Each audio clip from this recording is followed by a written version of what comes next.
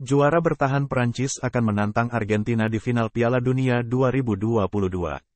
Kepastian itu didapat setelah mereka sukses mengalahkan Maroko 2-0 dalam partai semifinal di Al Stadium, Kamis, tanggal 15 Desember tahun 2022, dini hari WIB.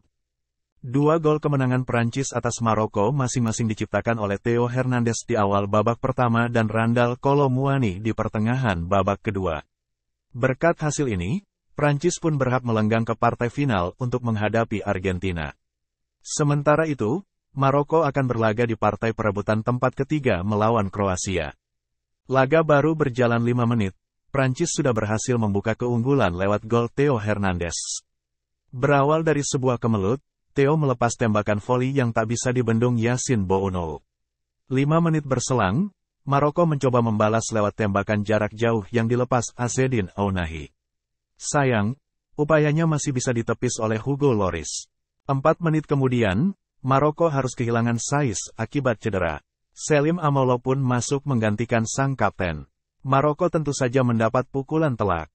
Jelang babak pertama usai, Maroko hampir saja menyamakan kedudukan. Sayang, tendangan salto Jawat El Yamik masih mengenai tiang.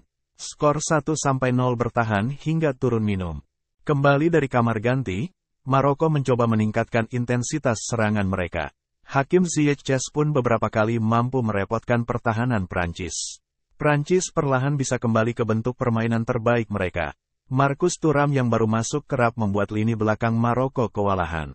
Prancis akhirnya sukses menggandakan keunggulan pada menit ke-79 lewat gol Muani. Berawal dari pergerakan individu Kylian Mbappe, bola rebound sukses dicocor Muani menjadi gol. Tak ada gol tambahan yang tercipta di sisa waktu. Skor 2-0 untuk kemenangan Prancis pun menjadi hasil akhir pertandingan ini. Terima kasih sudah nonton video saya jangan lupa untuk subscribe like dan komen.